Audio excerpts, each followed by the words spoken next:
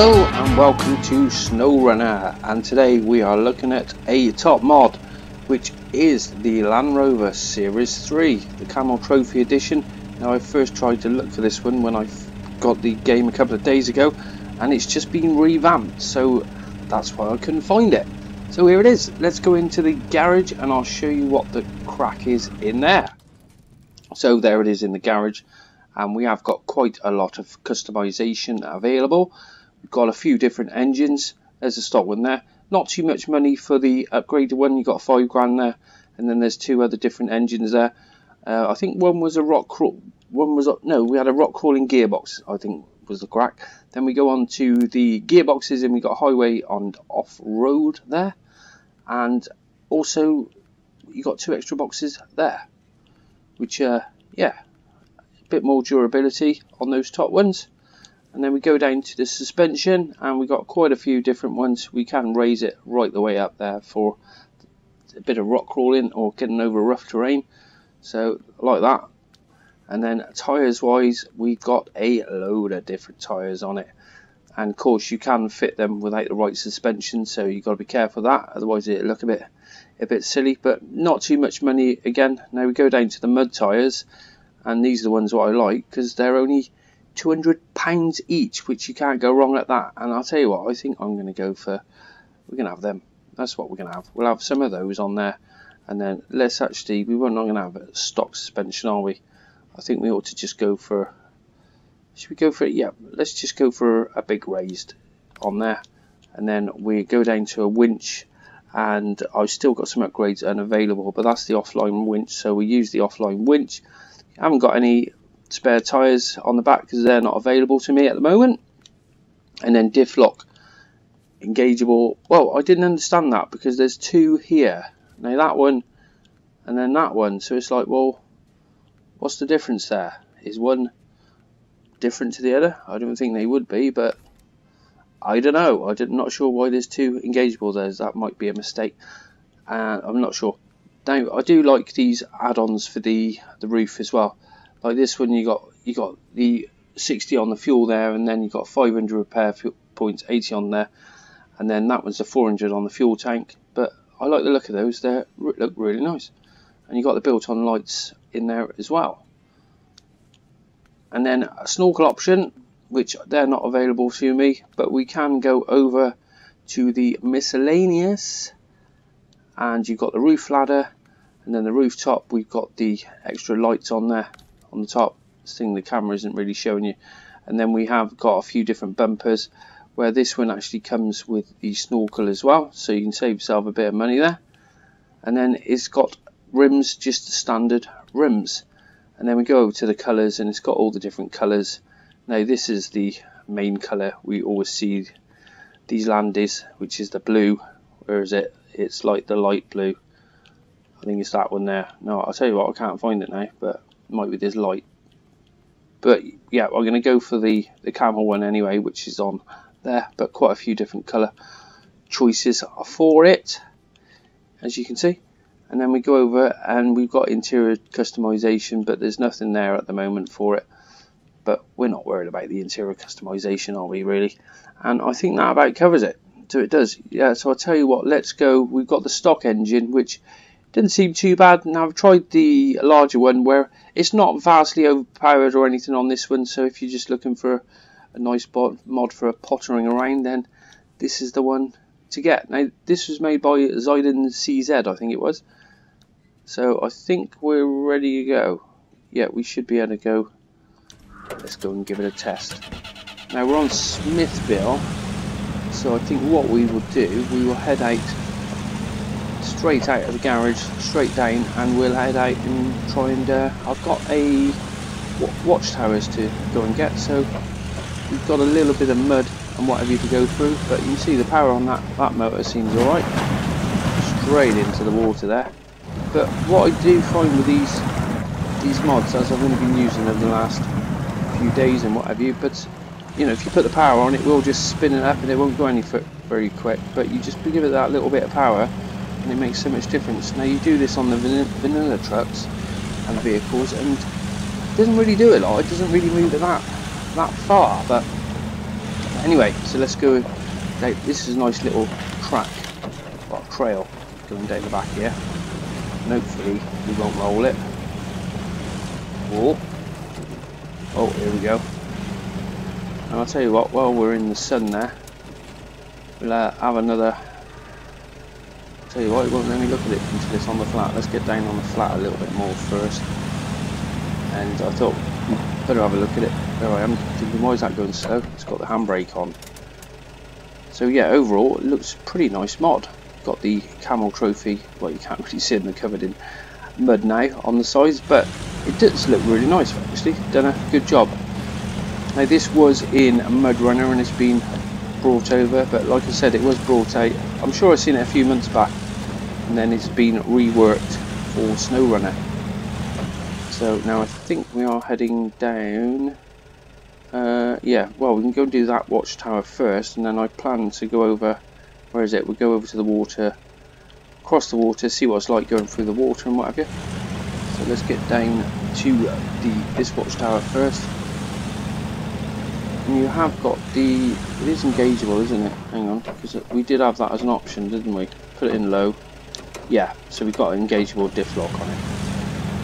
Which I do prefer on some vehicles to have that option, especially if you're getting stuck a bit. You can actually slap it in the diff lock and get a bit of traction. However, I'm very good at forgetting to use diff lock and struggling with, on without it. But there you go. So I think we're heading down this trail here. I should really know, really. Been playing Smithville enough times already, haven't we? Really. But yeah, this is the track. I like this tra track down here. It's pretty, pretty nice track. Whoa, there we go.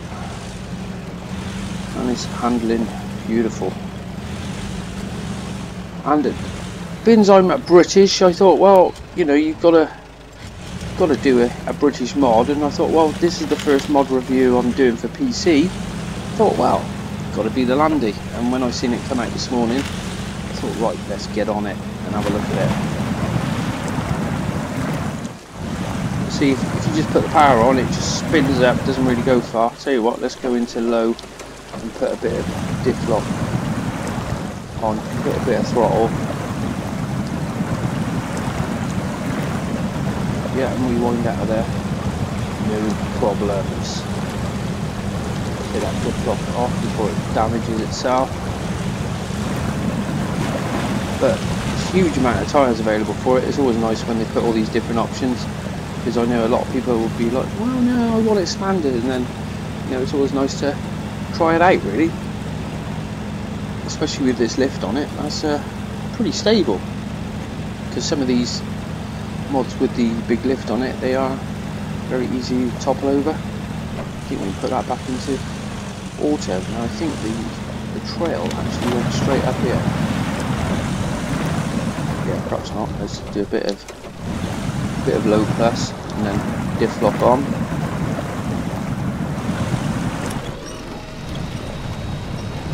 And I have got the offline winch as well, just in case we get into trouble because like we're getting in trouble. Oh, here we go.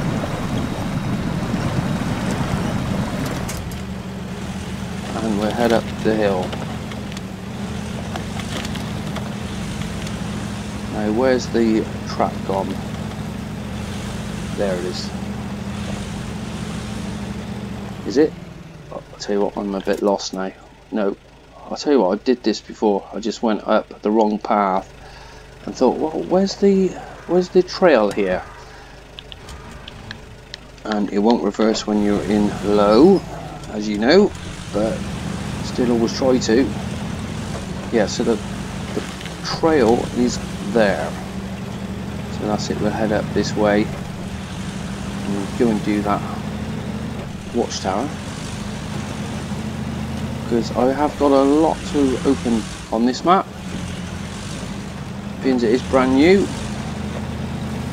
but it makes so much difference having mods. You can just get get around so much easier.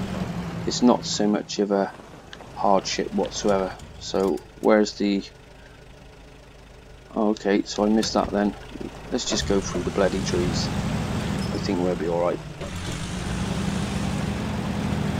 I did think there was a little track going off, but obviously not. Now you wait, we don't get trapped in some trees here, some of these branches, but now I am playing on the PTS, which this this game seems to run a lot better than the um, the live, the current live one, which is uh, a bit strange. I thought it'd be round the other way, but there's a lot of extra features on here, like the camera. It seems to be working a lot better on the PTS than it does on the live one. I didn't like it. It keeps um, keeps zooming in and out when you don't want it to, and you're like, well, just stay there. Why can't you just fix the camera? That's all I want to do. And I tell you what, we're going to get into trouble here now, aren't we? You see, even going past those trees on the live game, if you touch some of these tree branches, it just it just stops you dead. And we want to get out of here, really. I think we just head over this way. And we should find the trail again. Somewhere. Somewhere there's a trail. No, I'm completely lost. Yeah, we're going we've gone completely wrong way here. The plan was to go down on that, that way.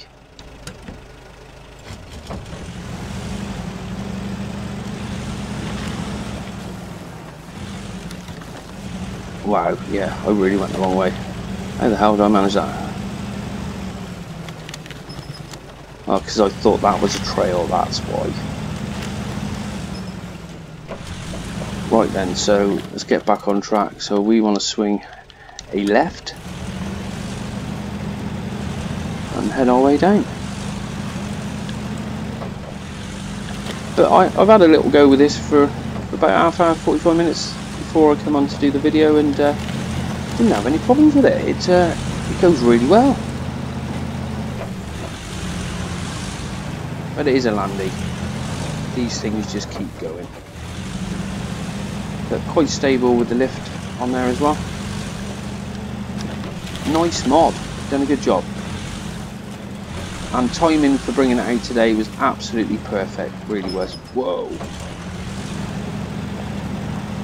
Right, so we're going to go back into the mud now. And that's where we wanted to head, down that way. I was just going to see what it's like going through. And let's put put a marker on so we can go the right way. So we want to go there and head across that way, which is down over this way. Because I know it is quite muddy down this way.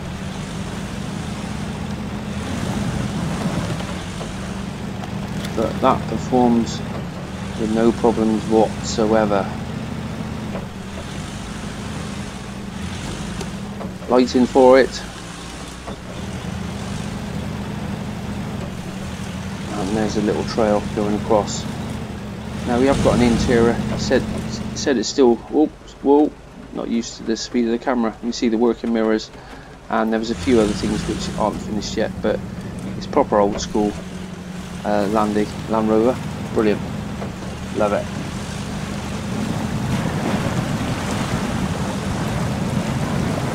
But yeah, nice bit of kit. I, I think this one is going to be sticking in my garage for a while. Seems to be one of those vehicles you can just get in and just go off for a drive. Now have a steady cruise especially with this tuned engine. It's, uh, I like it. Nice mod.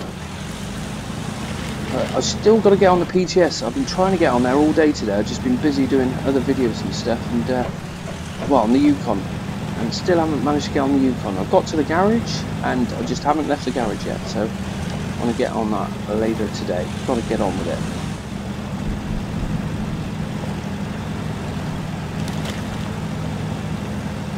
you can see it does stay in the lower gears going up here.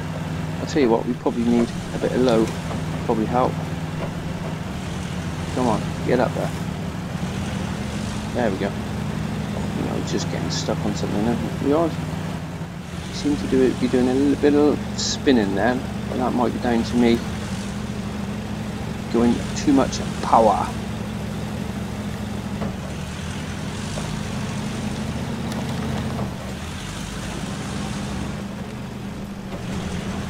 There's that watch, that watchtower's done, isn't it? Where am I? I'll tell you what, I'm totally lost. No, of course we are. But uh, I'll tell you what, I had the map upside down and I was thinking, hey, I thought we were heading the opposite way, but never mind. Because the night is drawing in already. See, it's a bit dark, isn't it? Don't like that. Now that's proper dark, so we do two more, and there we go. That should be a little bit better. No, overall, the Land Rover Series 3 performs beautifully. Now this is a like a first look mod review as you know I'm not going to say oh it's great it's this and that but so far it's pretty nice mod. I haven't had any problems with it. And like I said I've probably only been using it for sort of an hour and a half or so. But you can't really do a proper review after an hour and a half. You've got to drive it for a few weeks or so at least haven't you really before you decide. I know some vehicles you can jump in and just don't like them straight away, but this one I did like. Let's get in a bit low. Diff lock. Whoa. Get up those rocks.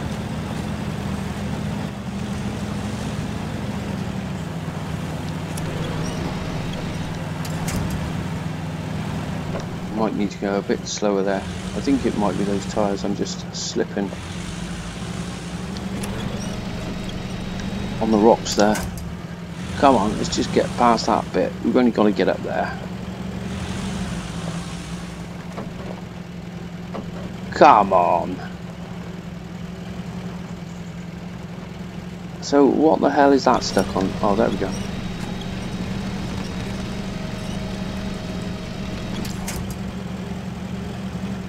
It seemed like the handbrake or something was on then. Come on, get up there. There we go. Put the power back on.